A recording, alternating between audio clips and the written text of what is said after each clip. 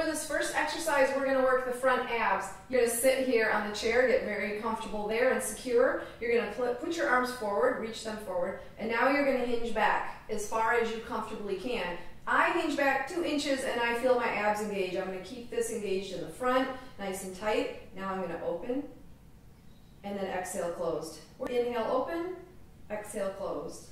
This is number two. I'm gonna keep my chin just a little bit tucked. Number three. This ab exercise, uh, this ab workout straight through. Four,